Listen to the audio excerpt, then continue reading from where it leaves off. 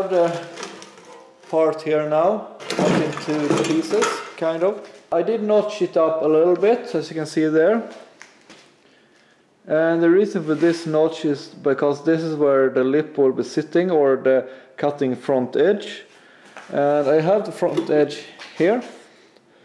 I cut it out from the old piece, as you can see. And it's not as long as it was before. And on the other hand, I will not be needing that long one, and if so, I have to add extra.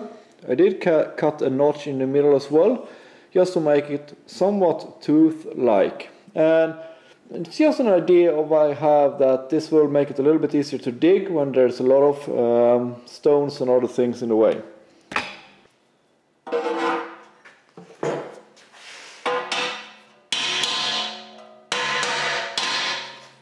The metal is rather thick on this end here.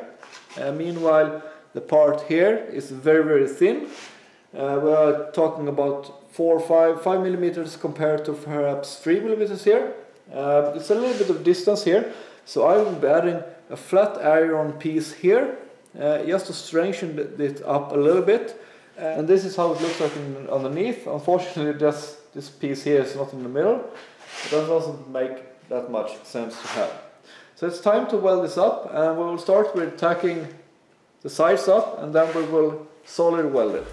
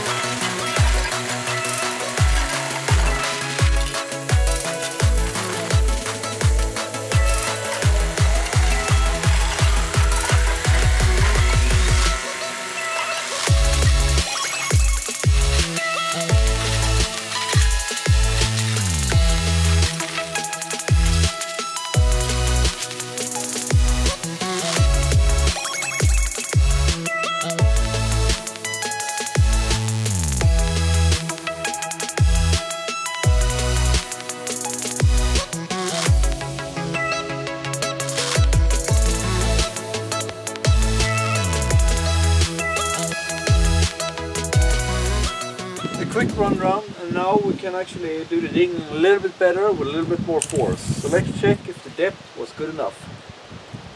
And we actually have rather exactly 60 centimeters down on the thing that I just digged. And that's perfect. That's how it... So basically guys, this is it for this video. This was a quick one where I fixed the bucket for my excavator.